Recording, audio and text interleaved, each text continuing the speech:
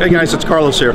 Also introducing in February of 2020 is going to be our new Spotlight. A very compact, lightweight form factor. You can hold it ideally as a flashlight, stand it on its table for multi-direction. It does come with a hook implemented inside of it so you can hang it. But the great thing about this light, it's a capability of shooting up to 700 yards.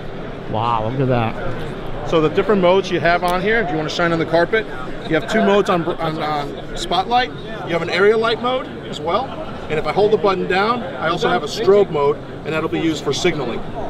So available in February timeframe, about a 129 price point range. Thank you. Appreciate it.